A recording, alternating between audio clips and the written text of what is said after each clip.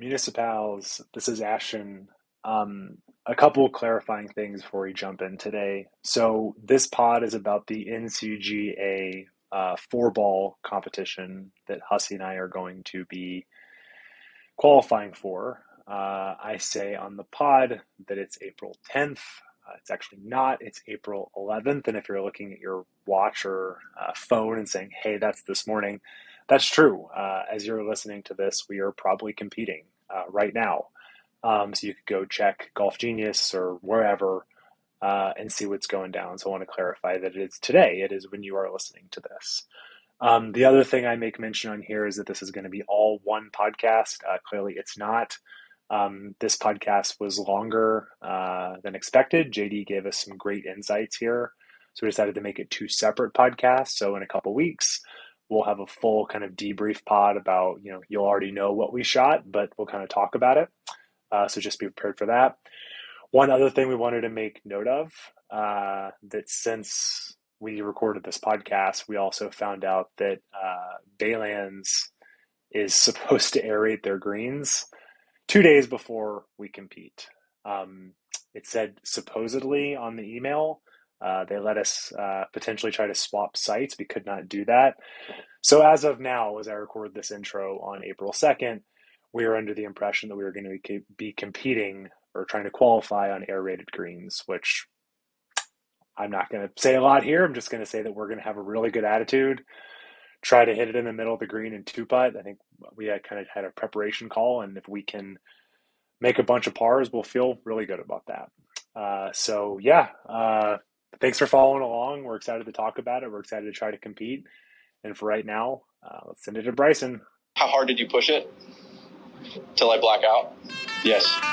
Numerous times, yes.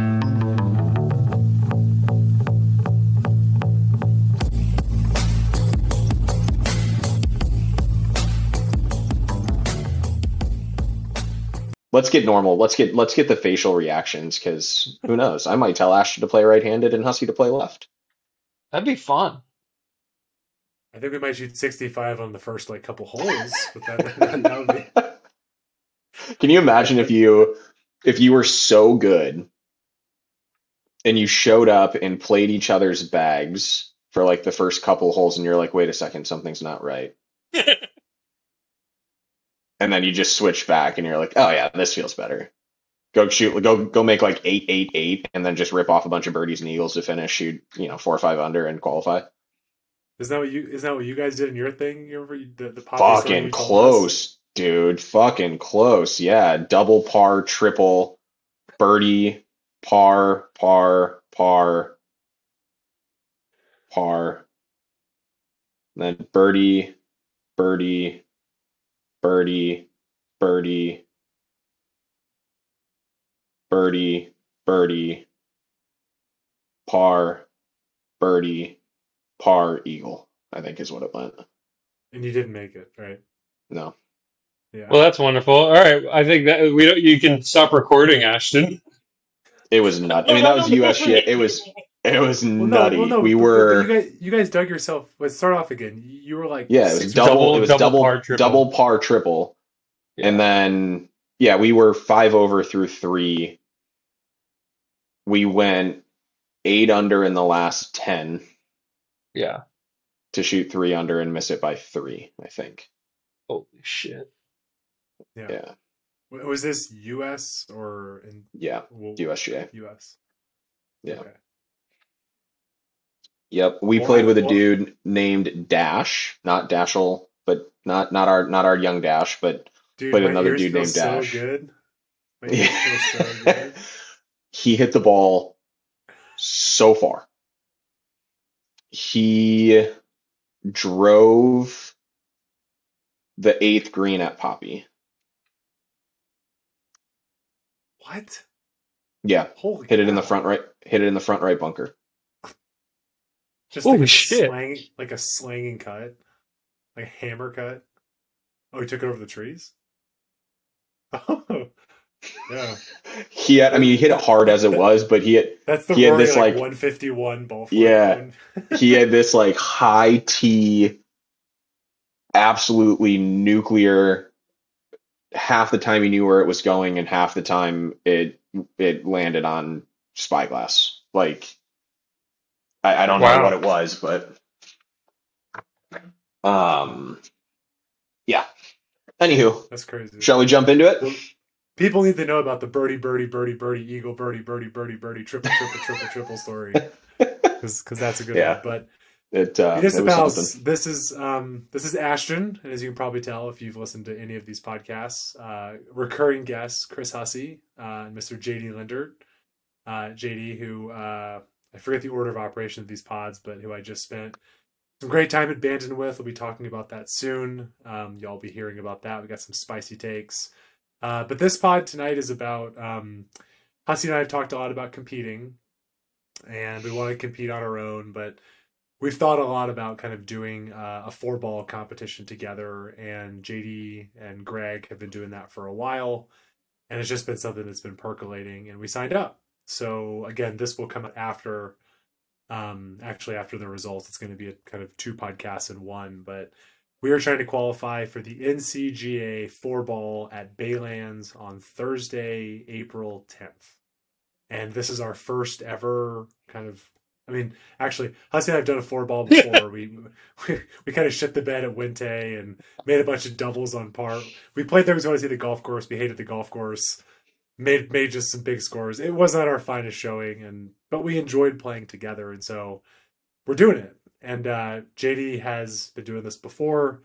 He kind of was starting to give me some advice, and I was like, wait a second, like we want your advice, but I'm sure there's other people who are trying to compete and you know i'm not sure make you feel bashful but you know i called you golf dad on the trip you've got some good insights and we wanted to wanted to kind of talk about it so gentlemen jd you're joining from a hotel in san francisco unfortunately not with me right now us from his wonderful home in SLO but us how you doing it's been a second since we've uh I guess I saw you relatively recently, but how you been doing? Yeah. No, I've been doing okay. Just been busy working. Um, been uh, playing not a lot of golf, but every week I play with a, a, local group of guys that I've met on the golf course. One of them is a retired Los Angeles fire department chief, um, and another guy is forty year old dude. Just us three kind of chipping around on Sundays at eight fifty five Morro Bay. So if you're out there, come on down. There's always spot for one. Um, but yeah, so just been playing Morro Bay over and over again, and it's one of the first times that I've actually been starting to really get to know a course. I mean, back in Walnut Creek, you know, I played Boundary Oak a lot, but um, I didn't know it. I didn't play it as often as I'm playing Morro Bay now because I was always playing with you, you know, rascals out elsewhere. So um, right now, it's just getting to know a single course, and it's been fun. It's been difficult. Yeah, the Morro Bay rules. That's a. That's a. We've yeah. done a pod about that. That place is. That place is cool. Um, JD, what about you? Work. Other than your, uh, other been... than your one, other than your, uh, you sending me screenshots of your, you know, one one twenty one twenty three one twenty four club head speed driver swings. Yeah. Um, wow. It's it's more been the dial in the wedges that have been fun, thanks to our good friend Greg Payne. Um, trying to play a little bit, but um, just working, man. Trying to get things done, make enough money so I can play golf. Um, working on a few things in the golf game, trying to get better again, which has been kind of an interesting foray into a type of practicing that I've not done in 20 years. Um, the frustration can creep in pretty quickly because you don't see results as quickly as you want. You think you might, and then it doesn't pan itself out in the the number at the end. And um, played on Sunday out at uh, Willow's Run.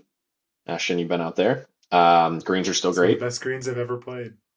Yeah, hit it. Uh, hit it okay. Missed like a six foot putt on 18 to to shoot one under. Um, but just kind of one of those like it's kind of how it's been, right? Hit it okay, don't make a ton of putts, make the putts you need to make to keep it around par, and nothing really else. Um, and then when you don't hit it well, you putt well or chip well or whatever it may be. So it'll come together at some point, but just been kind of grinding, grinding on the golf game and and working a little too hard. Yeah.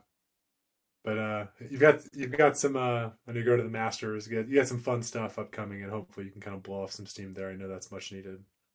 Yeah, I mean, we've got obviously, you know, as you mentioned, we had the the Bandon trip. Um, we've got some fun trips coming up. I'm looking forward to the cookout. Um, you know, that's that's my Masters, so just trying to prime the game for for early May. Yeah, he he's happy to hear that that the garden gnome you gave me. Careful with that. Do, do you know the connotation with garden gnomes, JD? Have you heard about this? Uh, in terms of the um the swinger community, not Yeah. of not the golf variety. Yes. Yeah. Yes. Do you think Augusta National Um, knows that? Or do they just not care? I'd like to make sure that I'm allowed into the Masters this year. Um, I'm not sure how far broad reaching this podcast goes, so But Fred um, Ridley's our biggest listener. yeah, no no comment, sir. Yeah. I will say this guy's pretty this guy's pretty cute, but the the, the tartan one, the, the kind of very formal looking one they're rolling out this year. Handsome looking guy. So I don't know. But Hey, Ashton, instead it- wait. Yeah. Quick question. How are you doing? You know, everyone comes on to your pod and you ask them how how you know they're doing. How are you? Thank you for asking, man. I appreciate that. Um, ironically, I'm sitting here drinking a partake in a pale ale. Shout out to you, JD. Totally changing my my drinking habits. Um, I'm good. Uh, I finally um, momentum's the wrong way to put it, but really this week has been the first time I've actually buckled down and paid attention to my job search, which has been mixed emotions a little bit. Um, you know, there's sort of like uh this sounds like a very privileged thing to say, but I'm sort of I feel bad saying this, especially to you, JD, but I'm like coming to terms with the fact that like me not knowing what day it is is going to end at some point soon. Like that's been just tremendously nice. Um, but it does seem like the job market's softening a little bit, and it's just kind of I don't know. I, I feel I always kind of feel this way. Like this is my favorite time of year because like I've always been obviously love the Masters, love baseball, but it's kind of the time of rebirth, and so it kind of feels at the right time. I was like, cool. I've kind of you know lay low, focused on myself this this winter. Um, and I don't know, like obviously something new is coming down the pipe. I don't exactly know what it is, but um, I'm not exactly chomping at the bit to go to work tomorrow. But uh, I can kind of you know see something on the distant horizon, and I'm excited about that. Um, golf wise, I mean, honestly, I, I totally hit a wall last week. Um, I played Wednesday and Friday after our Bandon trip, and I just did not have any fun. I, I didn't play great, but that really wasn't the point. I just I kind of processed and I've just kind of OD'd on golf, and so clubs are fully away this week. I'm kind of taking a, a 10 day, just kind of clear clear the brain, um, get my clubs regripped again. Kind of the the the, the clean the slate idea, but yeah, I, I can't wait for some some meaningful golf coming because I got um our, our local no laying up group. We have a little a, a tournament called uh, Chunks at the Chuck. It's uh, Hussey almost won the thing last year. Um, but it's a two person tournament. You kind of get paired up with somebody random. It's nine holes scramble, nine holes best ball, nine holes all shot. Um, and it, you know, it kind of, it matters. So doing that, um, and I guess two, like 10 days. Um, and then we got our qualifier the week after, uh, playing some golf that weekend. And then, you know, cookouts coming up soon. And, uh, I want to maintain my five, four, five, oh, five, one and oh record. Uh, I would like to maintain and, bring the burgers uh, another win. So yeah, things are good here. I mean, it's just with, with, with baseball getting started up, and I've been rewatching the the Masters. It's it's just it's the best time of year. Longer days. I love that- The rain's done soon. I love that you you said it's Masters and opening day baseball, and it feels like a time of rebirth. With this Sunday is uh, Easter, so that just works. It all works. The time of Yeah. resurrection. Yeah.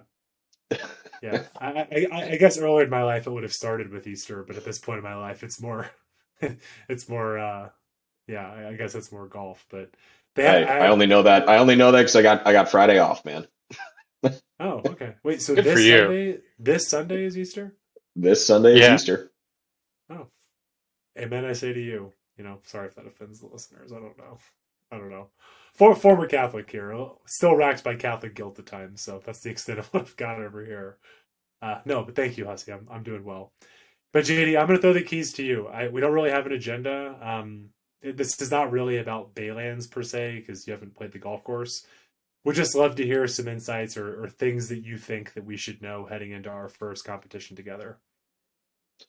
Well, I think that this actually came to me as as we were were opening this up, but for those of you who haven't played with one or either of these gentlemen, um, this will give you a little bit of a sneak peek into generally how they play golf. I, I think they're both. Hussey, what's your handicap right now? Four point six. And Ashton, kind of similar. Exactly the same, actually. Four point six. Yeah, I mean, you guys are like the best four and a half indexes I've ever seen on the planet. Um, I don't. I've never put this together until just now, and I don't know if either of you realize this, but the first hole of golf that I played with each of you, you both made birdie. Ashton That's birdied so the first true. hole. Ashton birdied the first hole at uh, Monarch. Um, slight caveat, he was playing a tee up, but um, the uh, the first hole at the Cookout in, and in Ojai Cookout OG, if you yeah. will, uh, vintage one. Uh, Hussey and I are paired up in a four ball format. Um, I think I was first ball off the tee. I think it went somewhere around 170 yards left. forward yeah. And about 170 yards left. So total of like 340. I, I, I, had been talking you up, and you almost yeah. I remember you had a three wood and almost went in the water, and I went oh, like literally. Yeah, we like I was like oh, we had God, to like we we had to yell four yeah, it wasn't good. it it wasn't good. So so partner is out of the hole, and you know Hussey stands up, hits a you know patented towering dead straight ball. You know he's got these wedges that are six inches long with oversized grips and 17 wraps underneath, and I'm like, who is this guy? And he hits it to like 10 feet, and he's telling me how bad he is at putting, and he steps up and just buries it right in the center of the hole, and I'm like glad he's on my team. I get boat race today. Um, so that was my first experience with with both of you, and I think that that generally rings true across your golf games. Um, you both make on a relative basis an absolute shit ton of birdies. Some of this is just going to simply come down to the timing of those birdies, right? If you both make four and they're on the four same holes, you're just kind of unlucky to a certain extent, right? The chances that that happens are are low.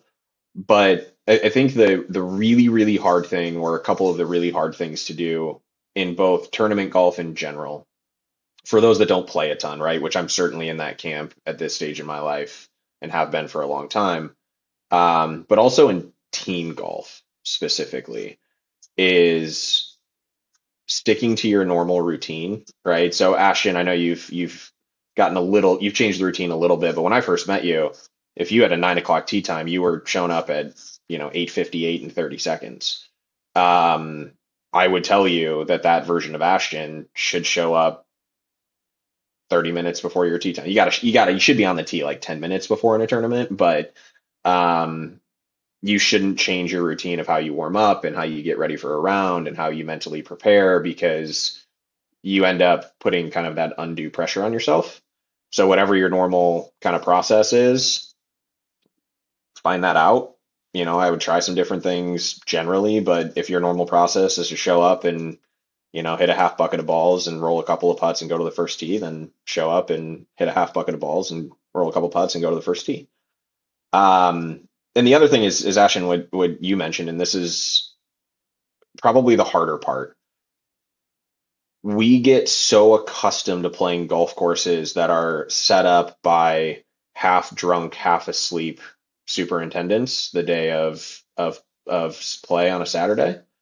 Um, and when you show up to a tournament, especially one that's you know relatively sanctioned, chances are you're going to have a pin sheet. They're going to have designated holes. The old thought process was you'd have kind of six green light pins, six yellow light pins, and six red light pins is kind of the old school way of setting up a golf course. Um, and the thought there is, generally speaking, the flagstick isn't going to be your target. And trying to recalibrate how you frame kind of where you're looking can be challenging when pins are cut, you know, five paces off two edges of the green, right? Five paces from the back and five paces from right. All of a sudden, anything long or anything right is dead. So your target becomes kind of slightly short and or slightly left, depending on the club that you have in your hand. So it's that idea of if you go out and try to, that's what I mean. If, if you go out and try to shoot 65, if you go out and try to fire at that first pin that's tucked behind a bunker, that's tucked short of a, you know, fall off on the back edge. And uh, this happened to Greg and I actually in our, our last four ball qualifier, very first hole. Um, Greg hit a good wedge, went a little long. I had kind of a rough lie, but same thing, kind of went after the flagstick, went a little long, falls off in the back. You're dead, right? I mean, you're playing a good golf course with quicker greens and you got a shot that you can't go up in the air. You probably got a bump. Like you brought six into play, and you definitely aren't making more, aren't making better than five. Take those wedges and hit them. You know, take one less club and hit it a little further left for us, and you got two 25, 20, 25 foot looks. You bring three into play, you take five out of play. And you do that enough times, hole enough putts, get lucky enough to hit a couple close, and you never know what what score you might kick out. But that's that idea of if you get into that mindset of pressing early, right? I got to make birdies. I got to make birdies. I got to make birdies. You're going to bring bogeys in, then you got to make more birdies. So I would just say that you both make plenty of them you'll have plenty of opportunities and plenty of looks across functionally 36 holes, right? You're both going to be playing the same 18, but 36 looks at it. Um, you know, I've, I've, I have confidence that you'll make, you know, five, six, seven birdies between the two of you. Um, if they happen to come on different holes and you avoid and you avoid the bogeys, it's plenty good enough to shoot a number that you think is going to be good enough to qualify. Would you would you say that it's that kind of our mindset going into this is maybe to be less taking less risks and, and just playing a bit more conservative because in a tournament setting everyone's going to be kind of all over the place. You could be playing against people who are super experienced but you could be playing against people like ash and i who are not experienced at all and so they may make dumb mistakes. Or and so if you just eliminate bogey, double bogey, and just try and make par, um, and and be a little more more conservative. And the bogey or the birdies will eventually come, but by eliminating and being conservative, um, you're actually going to let the field kind of separate themselves from you. Is that a fair way of looking at it? To an extent, I think that I would. Um, I'd maybe look at it in two different segments of the game. So, Hussey, what what's your favorite club to hit off the tee? Uh, two iron. Okay. Generally speaking, when I've played with you, you've hit the driver fantastic. You tend to hit kind of a high straight ball. Uh, um, if the golf course allows for it, I'm not saying you've got to try to force the issue with hitting driver when it's not appropriate, but provided there's not, you know, out of bounds that sucks in really tight on both sides, if you generally like the look at the tee shot, if you feel kind of comfortable, your best option is to play relatively aggressive off the tee. Try to push it as close to the green as you can. Give yourself a the shortest club, the best opportunity to hit it in inside, you know, 20, 30 feet right? Which within within reason, I, I I presume. Like if it's a sure, if it's a 350 yard par four, for me, hitting driver is out of the question, just because that'll leave me with like you know a chippy 60 degree wedge with depends zero spin your, capability. Yeah, it depends on. I, I I would say this. It depends on a couple of things. Yeah. How do you feel from how do you feel from, you know, 50, 60, 70 yards? Um, and where's the flagstick? Yep. Right, flagstick up front, tucked over a bunker. I'm with you. I'd probably favor something that's whatever your kind of favorite full, full but still yeah. a shortest shot, right? Yeah. I don't want you to hit a full eight iron. I'd rather have you hit a three quarter wedge than a full eight iron, right? Um, it's where it's tough to just throw a blanket statement over it and say play more conservative. Sure. you shouldn't play conservative, and you sh- certainly shouldn't play more conservative than you would just playing your own game. And that'll lead me to kind of another piece of advice here in a moment. But I would want you to play, if I were your teammate, I would want you hitting driver just about anywhere that you felt relatively comfortable. Okay. I'd want you using your length and accuracy to your advantage. Um, I get it as somebody who has historically struggled at that kind of 40 to 60 yard range. Um, if you feel like you're better at 80 or 90, fine, hit the club that you think you can get to 80 or 90. Um, I think the more that I've played, though, the more that I realize with nerves, even though the driver used to be thought of as one of the harder clubs to hit, I think that's kind of migrated over the years with the golf ball and golf club technology. Um, it sure as shit is a lot easier to hit something that's teed up a couple inches than something sitting on top of the turf. Sure. When you got the nerves going. So I would I would say play relatively normal slash aggressive off the tee. Um, and then into the green, it's just be a little bit more aware. Um, I'm not saying aim it at the middle of the green necessarily. I think generally speaking, that's going to be far too conservative to make enough birdies. But I wouldn't be firing at flag sticks, at least intentionally. I'd be really committed to a target that's, depending on the club, you know, 10, 15, feet left, right, short, long, whatever that may be. Um, make the easy pars and maybe you drop a couple of putts for a birdie here and there. Um, it's just about giving yourself looks. It's keeping it in front of you off the tee while being aggressive and then having as many birdie looks, simultaneous birdie looks, right? Not where Ashton's in pocket and Hussey's trying to make a birdie or vice versa. It's can both of you be on the green in regulation and have a relative chance at a birdie on a fair number of holes, right? It's unreasonable to think you're both going to hit 18 greens in regulation. Um, but if you both hit whatever your normal number is 10, 11, 12, 13, 14, whatever that number is, um, hit as many greens as you can in regulation, give yourself as many looks. The other part to that is when you're playing with a teammate, there is the added layer of like you don't want to just play well for you. You have somebody that's kind of relying on you to play well. Um, and that can cause you to play more conservative. Like, I don't want to hit it over here. So I'm just going to play, I'm going to hit a four iron because I know I can hit it here. Right.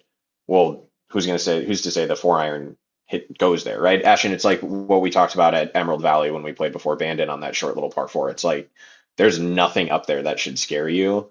Hitting five iron shitty off the tee and leaving a seven iron into a 330 yard par four is it, it, it just brings other things into play that you don't think about because you think you're just going to hit the five iron good. But by that thought process, you might as well just think you're going to hit the driver good and hit that club. Right. So you don't want to back off so much off the tee. Um, you just want to play with some margin going into the greens because the pins are likely to be set up a little bit different than you're used to. And you were saying with that same idea, I remember you mentioning you're not you're not a fan of the idea of like unless there's a comfort thing, like you're not a big fan of like I'll hit five iron, you hit driver. It's like like one of us being more conservative and one of us being more aggressive. Unless it's like, hey, like for me, like let's just say that on that day, I've got that kind of gross right ball that just pops up and there's shit right. I'm like, I'm I'm gonna just I'm gonna do something else here. But if there's if there's not a reason to, you'd promote us just let's both hit driver and just do it. Like we're not trying to play two different games. Yeah, so I'm trying to think of um trying to think of a hole that we've all played. Um, what if we took like 11 at Peacock Gap? Long par four, right? Great Something you're likely to encounter. Kind of a, a tough hole, stuff left, some stuff right. Um, I think generally, I think I hit like hybrid seven iron into that hole or something when I played it last time. Um, I generally think that unless you're not comfortable with the tee shot, you kind of just stand up there and and rip it up there, right? And the reason I don't like that idea of five iron first, let's say that Ashton, you're going to hit the five iron and Hussey's going to hit driver as an example. Hussey, how would you feel if Ashton steps up and just kind of just hits a stinker of a five iron up there? It's not in a good spot. Maybe it's not in the hazard per se, but it's not in a good spot. You just watched Ashton like lay the sod over a toey five iron that went like 150 yards. You gonna feel very good stepping up to your tee ball? No, I'd probably go and get a two iron or, or you know something something lower and then realistically, like I'm if assuming, well, like I'm assuming your dispersion with a two iron is 50 yards left to right. Like that would be kind sure. of pretty good for a tour quality player from 240 yards or however far you hit that golf club. Your dispersion with a driver is probably 70. Yeah. Maybe 60. So like my point is you have confidence with the two iron. That's great. You should have confidence with the driver too, because you hit it pretty damn good. Um, and there's no telling that you're going to hit the two iron good or the driver bad. So unless it is something that is the third hole at Corica South, where there's kind of trouble everywhere, trouble both sides, and you don't really need to pump a driver up there. Um, unless it's something like that where the trouble just gets so narrow where it just does not make sense to hit a driver for either one of you, then don't do it. You should hit driver though in almost every other instance as long as it's not over penalizing or like dude if you're standing over a driver going like this doesn't feel right I don't care what like the stats will say don't hit driver. Yeah. Outside of that though, pump that sucker everywhere. And and the good thing about Baylands for for what I remember is there's a few holes that are double fairways that you could just pump driver, you know, anywhere. Um, so I think that makes it a little bit easier. There's a few holes that are that have you know quite a bit of waste area that you have to you know it's either on the I think I think a lot of the waste area is on the right side of the entire uh, the way it's routed. It's always on the right, so that's just something we'll keep in mind. But um, yeah, when you no, say waste area, are you talking like marshy, like can't find the yeah. ball, or are you talking like, like bunker can play it out of there? Talking about marshy, I think the last, the only time I played there was in the winter, and it was like flooded. I think. Okay. I think. Yeah, I I, I don't know what There's we're gonna also, it, It's got a lot of it's got a lot of red stake with the green where you can't go in too. Oh yeah, protected area stuff. So but but um, I think I think overall it's it's actually a pretty forgiving goal. Like it, it's Corica yeah. in the sense of it's I would it's not wide. describe it as like yeah like we played Del Monte and like Del Monte's very like tight with small greens. Like that's not we're actually going to play wide with like pretty huge greens. Yeah, greens. yeah, quite yeah. the opposite. Better for us. So it's better for me. Well, let me tell you a story about um tournament that I played in a long time ago with green capped red stakes and fundamentally how not to play the game of golf essentially. So there's this par five. A, there's a dune in the middle, so split fairway. Um, I was probably just getting to the point in my life where I was long enough to carry the dune if I wanted to take it on and try to to take on take on the par five and two. But fundamentally, this entire hole, the dune is protected about 240 yards up the right side, you run into more protected area, and the entire left side of the hole is protected area. So it's fundamentally a hazard everywhere, right? Um, the hole goes out over the dune, goes forward another maybe a couple hundred yards, and then makes a sharp dog leg right. So you have to carry you have to carry the hazard in some way, shape, or form to get there. So trying to play conservative.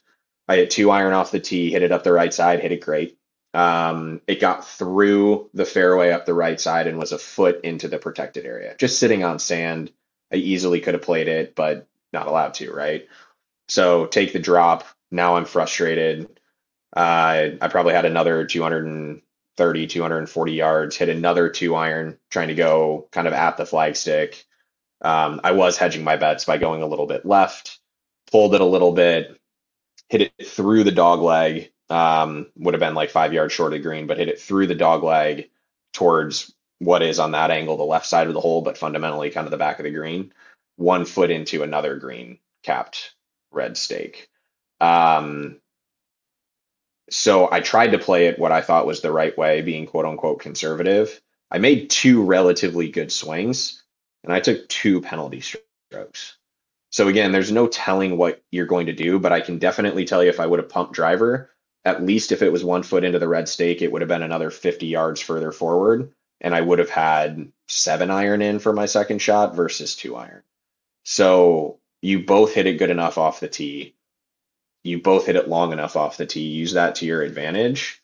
I'm not saying just go up there and be irresponsible with where you're hitting driver. Um, but fundamentally, the golf course that you're describing to me, you should probably plan on hitting driver 12 to 14 times. There's even a par three that you can hit driver on. It's like yeah. 240 into the wind. Like, oh, I, I hit a, little, I hit three uh, wood there last time. Yeah, little chippy chippy driver. Yeah, I refuse. I'm not until I'm not until I'm 50. I'm not hitting driver on a par three till I'm 50. I don't care. I said that when we played out at out at out at Monarch with the eighth hole or whatever it is. That if they play it all the way back and into that howling oh, wind, oh, yeah. it's like 250 into the wind. Mm-hmm. Um, I said that once. We did it on 11. I remember it was black tee all the way back, wind in our face, and we both hit like chippy drivers on 11. Yeah, not doing it. Not doing it. Yeah. No. Again, it um, wasn't a good idea. A... I think I think I hit it 150 yards left because I decelled on the way down. I did a back It's a pride decel. and ego thing. How are how are you guys feeling? Um, like, are you starting to get kind of? I mean, I know it's still what a week and a half or two weeks away, whatever it is, but um, are you guys starting to feel like kind of getting amped? Feel like um, you got it marked on your calendar, or is it just kind of something that's coming up for you? Well, for me, I'm trying to harness. I'm trying to think back to the days when I was very, very athletic and competitive in like high school with sports, and how like you know before before a basketball game, before a championship game or something like that, you get those jitters and you're nervous and whatnot. But I was able to harness that and and use it to my advantage um, to play to play lights out, use that adrenaline and and and and use it as a positive. The the one thing is that with golf it's so solitary that it's really difficult to kind of harness that on your own. Whereas when you're with a team, you can kind of see the collective energy together. And so I'm looking forward to it, especially now that I have a teammate. And that's why I really enjoy the cookout and I think I thrive at the cookout because I have a teammate that I can then harness my energy with, and we can really go out there and kick some ass. Um, so I'm looking forward to it. I'm looking forward to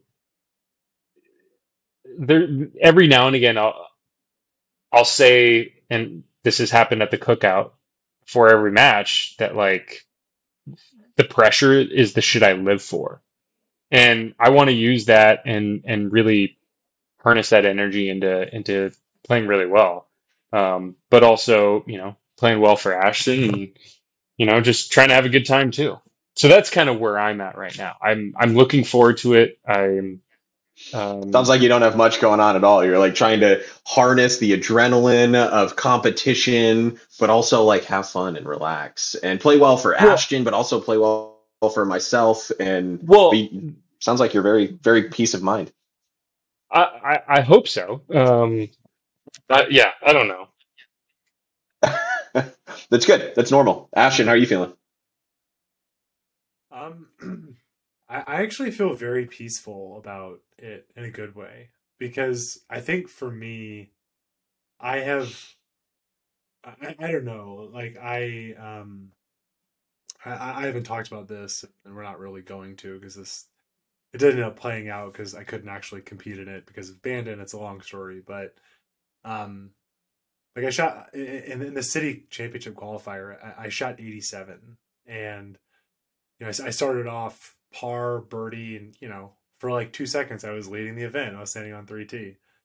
Um, but I just kind of like totally lost it. And you know, I, I just remember calling my dad and being like, "It's not that I'm not good enough. It was just like I am so unfamiliar." And also, I don't like to say this, but like I'm just like really uncomfortable in the situation, right? Because to me, it's not actually that like the pin locations are hard or that there's a tent that you know you know it's none of that.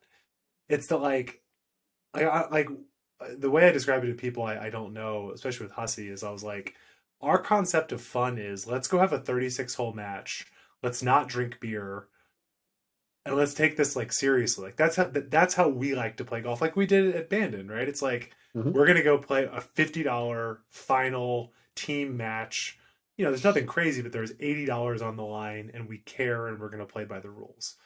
So it's like it's like I don't play hit and giggle golf. I really don't.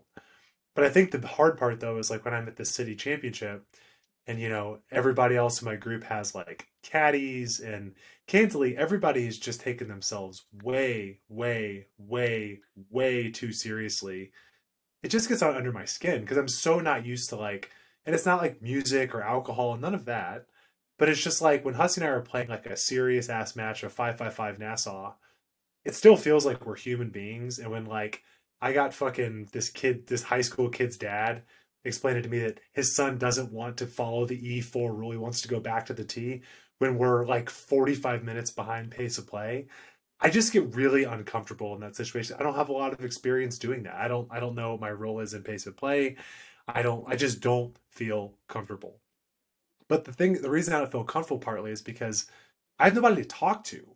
It's just me, right? Like when I'm sitting there and I'm on 6T and this kid's over here fucking around trying to go back to the tee and his dad's walking in my backswing and this guy's over there. I just literally feel like I'm on an island. And there's times where I relish that. Like, you know, uh, the cookout. I guess you're not totally on an island because with your friends, but like it's like, no, it's me and it's Rick, and we're gonna have this like knockdown, drag out battle, and someone's gonna win at the end. I find that fun. But when it's like five people on the green and like, you know, hey, I didn't actually want the flag stick out, and like, you know, you're you're it's like I just it just makes me uncomfortable. And and the thing is, I know we'll have a part of that, but it's just in that moment when like Rob is like taking himself too seriously, I look at Hussey and go, it's gonna feel okay. And so for me, it's like I'm not like I don't know. Like I I would I have I have these ideas in my head of you know these grand aspirations of you know just me and NCJ mid and you know mid am and this stuff maybe. But the more that I think about this, the more it feels like the team component and the other person too. I'm not make, saying this make you feel weird. I think hope, I feel the same way. Is like I actually feel most comfortable on a golf course with Chris Hussey. I just do. Like we've played more golf together than I think I played more golf with him than anybody. Good times and bad times, our handicaps are always somehow within a stroke of each other. We play a 36 hole match and we end up tied. I don't know. It's just like demeanor. I feel like I'm a little bit more up. He's a, like I, I'm. A, I kind of bring a little more energy. Hussey kind of mellows me out. But we can we can. But like I can be a seven or I can be a six. He can be a four. But we always kind of hang out around a five. And like that's what I need in golf. Where again, sometimes it's just like when this guy is over here being a total dickwad in the bunker, I can just look at Hussey and go like, and that's just gonna mellow me out. Where like when I'm standing on the six T of an individual stroke play thing, I just don't feel like I have that, and I, and I need to build that muscle. I need to build that scar tissue. I need to I I, I need to keep trying, but I think the team component is gonna help a lot because to your point, if it's like if I hit it, if I fucking hit a bad drive, it's like I'm not gonna apologize and be like, cool man, like I need you to pick me up, and I got you, like I got you, all good, you know. But to have like a fail safe, like if you like like if you make a not like like if, if I'm playing in a stroke play qualifier at Pac Dunes and I make a nine, all I can think about is it's like I'm fucked. I just walk off. It doesn't matter, right? No matter what I do, I'm not gonna be able to compete. It's over. And it's really nice to know in a four ball, it's like it's never over right? I mean, your story, you didn't qualify, but like theoretically, when you're five over, you should just go, you know, pack it up and walk out of there. And you guys battled and kicked and clawed and almost made your way back. And and, and there's something about the team component that has me excited, but like I feel a sense of like zen, of like it doesn't matter what we actually because we have each other's back, if that makes sense. And that yeah, cheesy, the, but that's what I mean. Hell yeah. The five the five over through three, I actually looked at Greg walking off the back of the green. I think the guys we were playing with were like even or one over. Like they weren't torching the golf course, right? And I was just like, we probably like just stay out of their way. Like at least they still have a shot, type of a deal. Like whatever. And Greg's like, we're gonna get it back on track. And then he made birdie on that hole. Um, it's probably the best outside of the first few holes. It's probably the best round of tournament golf I've seen that that guy play.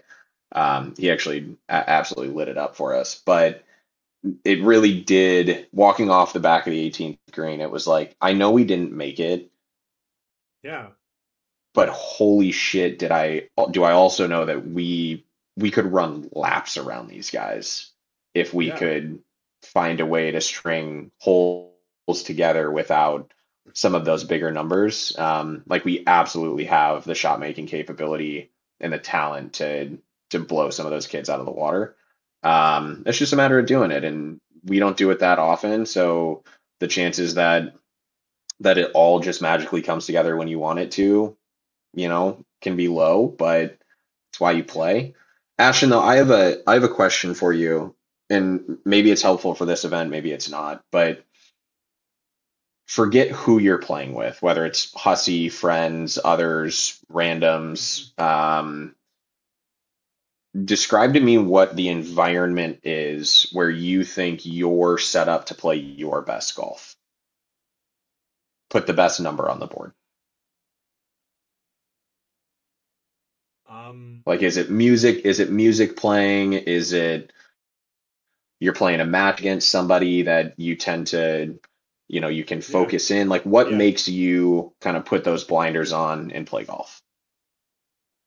Well, I think I can answer that by a specific round. It, was I remember last year I played a match against Fabian, and we were like a stroke or two. Like he was giving me one, or I was giving him. We were essentially the same handicap, and you know we this match mattered. It was for our local no laying up chapter, and yeah, it was one of those where it's like we wanted to beat each other, but like you know it, it wasn't like a you know it wasn't like a qualifying environment where like that just feels so sterile sometimes.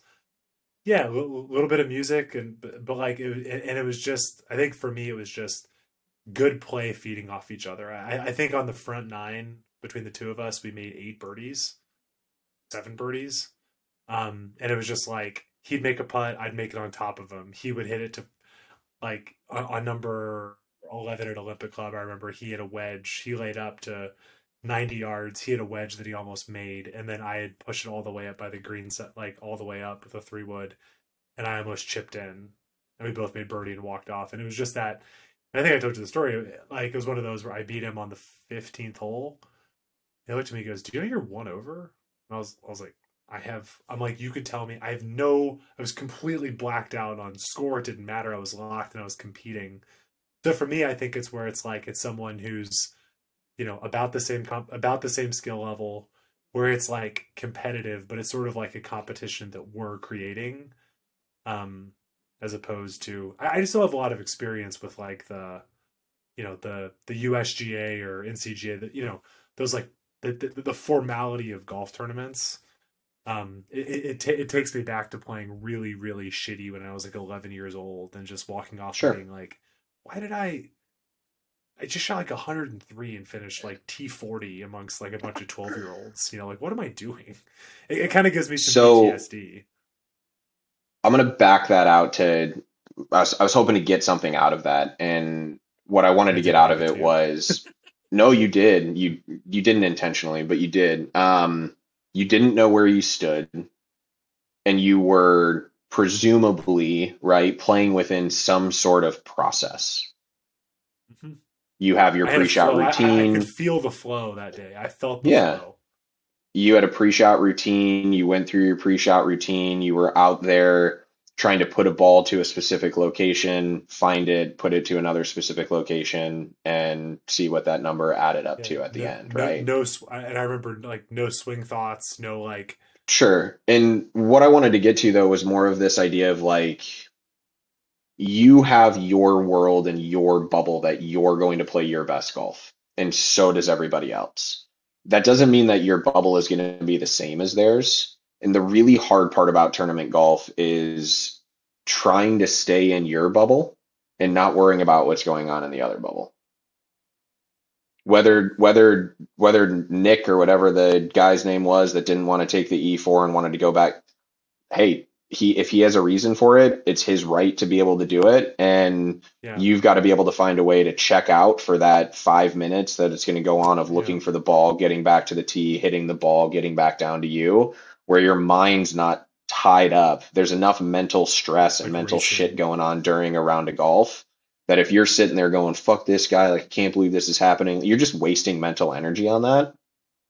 So you've got to find a way to almost just make it this match play esque, shot by shot, process by process. I think sometimes people take it a little bit overboard. Like, I agree. I don't think, you know, you see these guys on tour where they get disrupted and they they put the club back in the bag and they take their glove off and they put it in their back pocket and they take it back out of their back pocket and put the glove like they go through like the entirety of the pre-shot routine.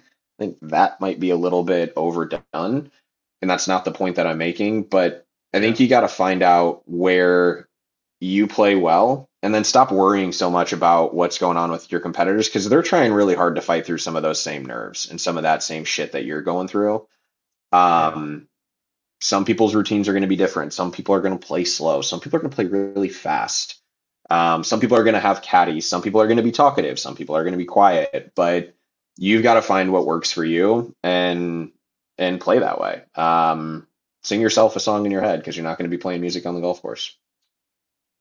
Yeah, that's a good point. Because I mean, I, I, as as Hussey will laugh. I mean, I also I've gotten way better at it, but I've also been well known in like on a Sunday round to like completely tie myself in knots about pace of play when like there's not a lot that can be done. Um yeah, like like I I'll just sort of get like apoplectic sometimes. Um granted I've gotten pretty good at like calling the pro shop and being like this is my problem. You guys need to come fucking figure this out, but in the past I've kind of tied myself in knots and to your point given a lot of energy to like that situation and then it's like I'm not. It's like I'm not even playing golf anymore because I'm just focused on like, well, how can we resolve this situation? And really, I I probably can't. And I think that's where this team format's going to actually be actually probably pretty pretty good for us because if right. there's a lot of downtime where normally you'd be talking shit about someone, for example, we can just have a conversation about you know our lives or whatever. You know, it's like if we have to wait on you know asshole to go back and you know figure some stuff out, then so be it. We'll keep each other busy and stay in our process and not really think about other people. So, um, yeah. yeah, I think you just, that's something about, you can tell we're going to drop do. Some, you can look at me and smile and just say drop it, and I'll be like, I'll know what that means, right? It's like, yeah, yeah, right. I don't need I don't need to waste energy on this thing. Have you guys decided whether or not? I don't think this is a huge deal. It's a little bit nitpicky, but um, you guys going to help each other read putts? You to ask for help if you want it? Um, do you guys know who's teeing off first? Do you care? Um, some of the little stuff around that quote unquote process, right? Are you going to talk through shots? You're to talk through tee shots, tee strategy, whatever that may be, shots into greens if you're close enough to each other. Do you guys kind of iron that out? Dude, we don't even know if we're going to ride on a cart or walk. You know, it's like that's it's a good question the because there's I could have asked for. like there's just a lot of like yeah we haven't talked about any of this stuff so um yeah. No but it's a good it's a good question. I yeah. I haven't thought about any any of that. So we you got to think of nervous nervous energy right? You're going to get out on the first tee and you're going to walk up and they're going to say you guys are first or second right and you guys can choose who goes first amongst you but it's going to be the team that either goes first or second and the last thing you want is the like spider-man spider-man yeah. meme or GIF or whatever it is, where it's like, "Are you going? Am I going? Are you?" Who? Uh, like you're already going to be kind of, you know, you're going to have the tease. the grumbly, grumbly. Sure, if that's and that's fine. Like it doesn't need to be regimented. I just think you should agree upon some ground rules for how you're going to play as a team. Um. Where you're going to want help, where you're not. Um, no, it's a good. It's a good question because I know for me, like with putting, it's like sometimes I find that like at the cookout, I'll ask for a read, and it definitely I'm, I'm like like like I will find I'll ask for a read and I find it detrimental. I'm like shit, that's that's putting something into my head like I thought it was really breaking the other way. Which, like, you know, maybe they're right, but also too, I found like that happens sometimes where it's like it's probably better to call in if necessary because sometimes you're like, you know, you just you feel it and then you ask somebody else and it's like, oh shit, now I'm like you're over the ball being like, his or mine, his or mine, meet in the middle. Yeah. Like that doesn't feel good. Yeah, you know, split split the difference. He said left I mean, edge, we, I said right edge, so we'll say him in the middle. We've played enough kind of casual team golf, you know, on a, you know on a random Sunday every now and again uh, against other people to like, you know, you got this until you need my help, like, and vice yeah. versa. Like, it's only when you truly need need a second opinion that um, we'll ask. So I, I think I think that's kind of the process we'll we'll go through, but we haven't discussed any of yeah. this. So that's. But, but what I will say, Huss, though, questions. like I, I don't, I, you know, want to be mindful of like you know the tournament setting and you know make sure we're doing this the right way. But I remember this was, I mean, I don't know, two years ago, but when we were both playing really good golf, we talked a lot about commitment. And I do think there would be sort of a power of like, you know, like we were going through this phase where like we we just kind of there's one time or an entire round, he would be like, okay, I'm hitting a pitching wedge I'm aimed at the left side of the green. And he'd tell me, and I go, cool. And I said, Are you committed? He said, Yep, I'm fully committed to the shot. And we both like played. Oh, it was Rams Hill. Fuck. Rams yeah, Hill. it was Rams like, Hill.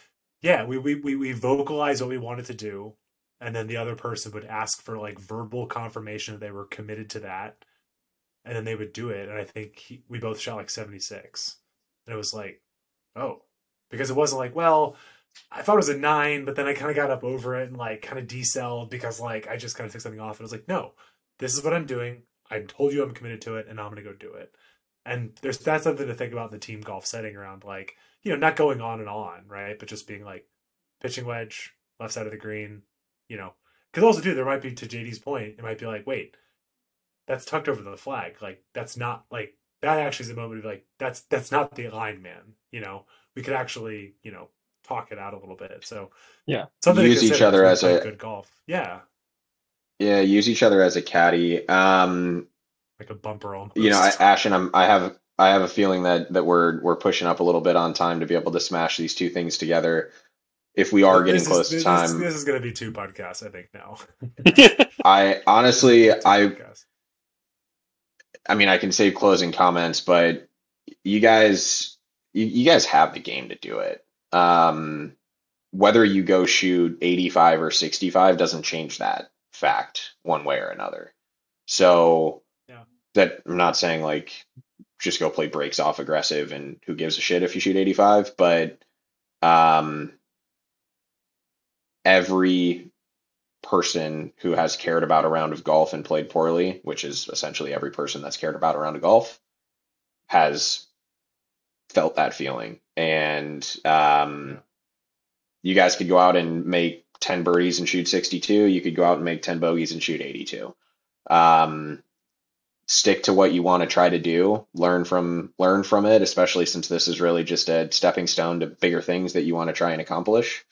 Um, but you both make you both make your your fair share and then some of birdies. Um, be yourselves, play aggressive, find your bubble, and you'll be fine. Yeah. No, I, I love the advice because I think the other thing too about not pressing it is if we think about it, kind of where all this originated, once you put this idea in our head, I can't tell you the number of times Hussey and I have played where we kind of sit down and over over the post round beer and go, huh, we would have shot 68. Huh. Like we didn't play mm-hmm. that. Like we both kind of didn't play great, but it would have been 70. You know, so I think the whole point is we t- we just tend to play well together. Like if you actually just mm-hmm. mash our scorecards together, it tends to work out. And so that's kind of to your point. It's like be ourselves, do our thing, almost take the vibe of like you know again to your point like that is really good to know about the flags and stuff because I think we're it's going to be like tournament setting in that sense. But from everything else, like let's just go play golf as we always do as friends and look at the end and the scorecard is going to be what it is. Because you know when we when we play, even we play together, we don't go, okay, full throttle, man. It's like no, that's not how we. We both played really good golf. Like I mean, the round I've told the story before, but the round I broke par, I told Nick I wasn't going to make a real swing to the seventh hole because I was like sore and like you know, but all that did was slow me down, good tempo. Like none of us ever go out and be like, I'm gonna fucking let's go. I'm gonna shoot 65 and do that. It's like the good rounds are like, oh man, look what just happened, right? And our good rounds that we kind of look at after a beer tend to be like, we would have shot 69. Cool. That's probably how it's gonna happen, realistically, right? Yeah. Um, maybe last little tidbit. This goes to the um, call it approach shot strategy generally. Um, it's not just don't aim at flags. You don't have to get too cute. Mm. Right? You get be, you get between clubs. It almost makes it easier if you slow down and think about it for a second. Slowing down is generally going to good going to be a good piece of advice. You got a back flag that's tucked over something and you're between golf clubs. Just hit the shorter one away from the trouble Yeah. and hit it hard. You may have some adrenaline, you may juice it, um, you may put it to 10, 15, 20 feet. Um, but unlikely that you're going to dial in a feathery longer club that's going to land just where you want it to and and stop next to the hole. Yeah. So just play with some margin. Think about think about your approaches before you get before you get over the shot. Um, don't just zip the pin and you know it's 163, so I'll hit my 170 club or I'll hit my 160 club, right? Um, Yeah. Think about kind of where that pin's located and how your shots generally are going to react coming off the face and um, I think you'll I think you'll be pleasant, pleasantly surprised. I'm excited to see how you guys how you guys fare. Um, I'm really excited to do the second version of this, the the post um, the post round um, debrief, if you will, uh, to get your guys' feelings and see how the first tee went and uh, see how you felt walking off the 18 green and um, hear about the internal commentary that you had with yourselves as you were standing over shots. I think that'll be a, a fun one to do. And if we play well, we get to go play Spyglass Hill, which that'd be pretty cool. Three three days at Spyglass. Uh, well, if you qualify for the match, or I think it's match. I, I can't remember what it I. I I think it's one day of stroke play, a cut, and then two days of match play from there. I believe. Pretty badass. Pretty Let's take a one shot at a time, boys. Yeah. Yeah, I I can't. I, like, give me the ball, man. I'm ready to go. Hussey's Hussey's already planning his match play strategy at Spyglass. He's already through both qualifying rounds, just standing on the Dude. sixth tee at We're on the Spyglass fourth hole. We're on the we're on the fourth hole. It's like Hussey, stop picking up your ball. We're playing stroke play. yeah, you do have to hole out, boys. Um, have Oh. fun. Uh, I'm excited to to hear how it goes. Um, I'm proud of you guys for doing it. Um, Yeah. You know that I believe in you wholeheartedly. Um, Thanks, Dad. yeah, go get them, go Oh. get them, kiddos. you like like I told Liz, you you believe in our aptitude of golfers more than we do, and that means a lot. Yeah, it's crazy that you believe in us more than we believe in ourselves, and so we appreciate that. So I'm over here thinking Hey. like I'm like this whole week of not playing golf. I'm just thinking about those like pull hooks I hit, and I'm just like, how do I fix that? And he's like, Really? "You make a Because all I've been all I've been thinking about is just the absolute nuclear fucking bombs you were hitting. So maybe that's the difference, right? When you're not the player, uh, you remember the good stuff, and when you are the player, you get the scar tissue from the bad stuff. But everybody needs the at least Yeah. one irrational fan around, and I'm I'm happy to be irrational in in any circumstance. So You you had you had the you had, you had, we'll talk about this on the Bandon Pod, but you had the the fan of the of the Marshall when I told him you hit driver a fifty degree wedge at a number three at OG Bandon from the back tee. He was like, "Wow, it's pretty far." I'm like, "Yes." He he hit into people who were hitting their third shot into a par five, sir. Like that is a very long tee shot. Hey, do you remember the first time you hit you played that hole with me? We both lost it right, and I think you stuck your hand in some gorse, and you fucking started bleeding. yep. That was that was a bad introduction Yep. to abandoned I think- dudes. I think I still wiggled a five iron out of there. So I was like right at the base. And then I hit it in the bunker. Mm-hmm. Yeah, that was a bit of a bit of a um yeah, bit of a trek. In our group, I think Different Ashton- wind. I think Dash made a 10. I think he shot like 50, 51 on the front nine. He was like 51, 37. But on that first night, he was like, whoa. I was like, I was like, holy shit. I was like, uh, okay, boys. Uh, that's well, awesome. We're gonna we're, Hussey, we're gonna go qualify. Hussey, I miss you, man. Wait, Miss you too. Come to SLO, and I'll come to Seattle at some point. Well, I'll see you in uh, a month. give yeah, that's take. true. That's true. yeah, the three of us need to get together for some golf Um, soon. That sounds fun. Namaste. Let's do it. Are we all going to be on the same team for the All right, cookout? boys.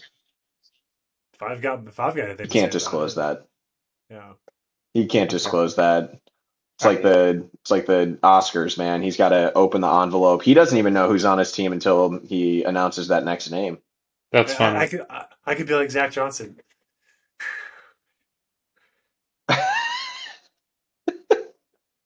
See, you Hussey, should what's you up, should buddy? make us all go.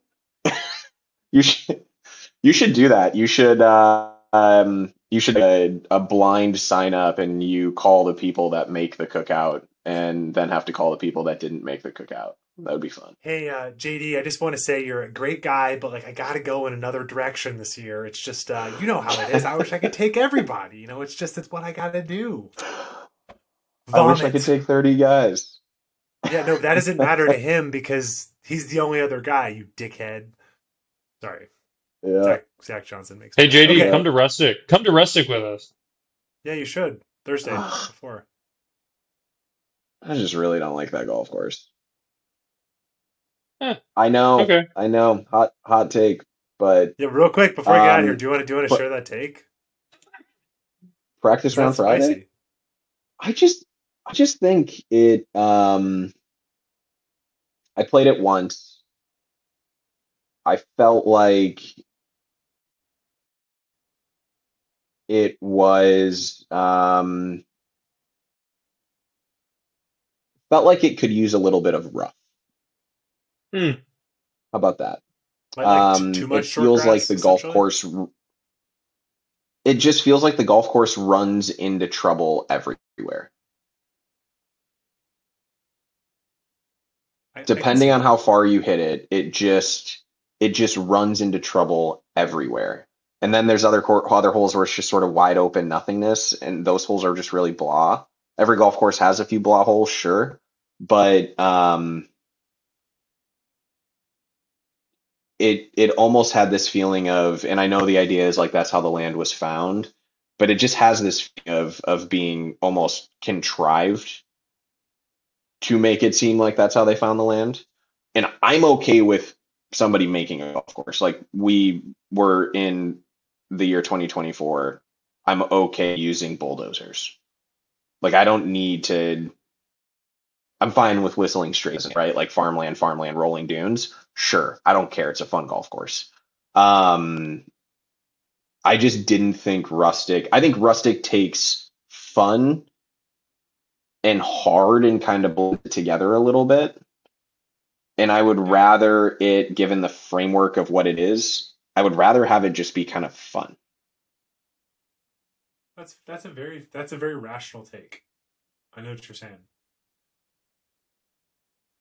My my thought. But anyway, um I'll be I think I'll be there for the practice round. Are we teeing off practice round late? Like two like we did last year? Early. No. 10 a, 10 a.m. Friday? Yeah. We'll we'll we'll, we'll take this conversation offline. We'll we'll we'll talk, we'll talk about it. All right.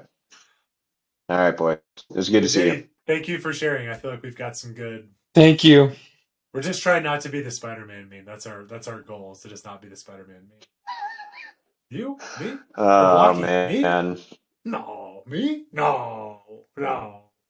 Can't wait to hear about it, guys. Seriously. Can't wait to hear about it. And then we'll talk about it afterwards. Peace.